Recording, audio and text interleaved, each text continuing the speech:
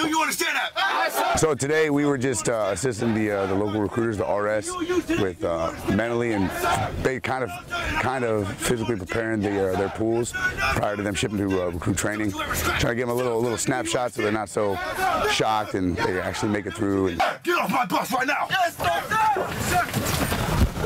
Position of attention right now. I gotta sir say it. I sir. position of attention right now.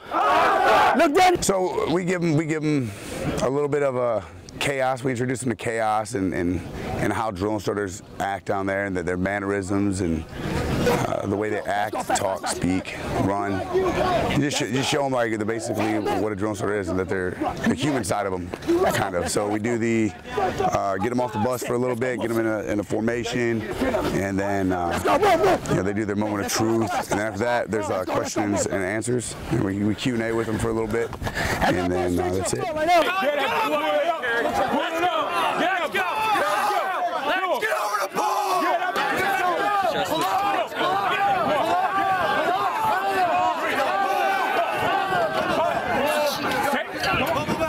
As his dad, uh, I know it's a world-class organization that uh, he's about to, to, to be a part of, and uh, we couldn't be more excited about uh, the choices that he's made to, to be in the Marines, and uh, he's just as happy as he's ever been in his life.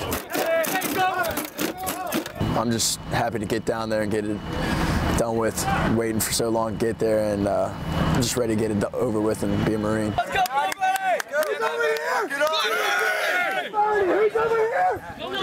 Showed me a little bit about drill instructors, how they'll act right when you get off the bus.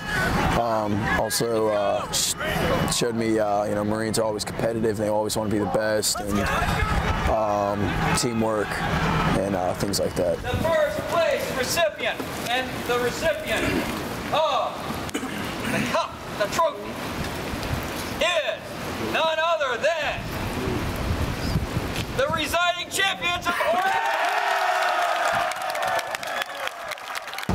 They did just like I expected they would. They would win.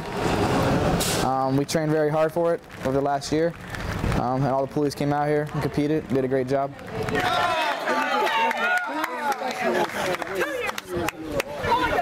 Poolee Strader, he was that voice for the entire pool, like making them one unit, one entity, um, motivating them.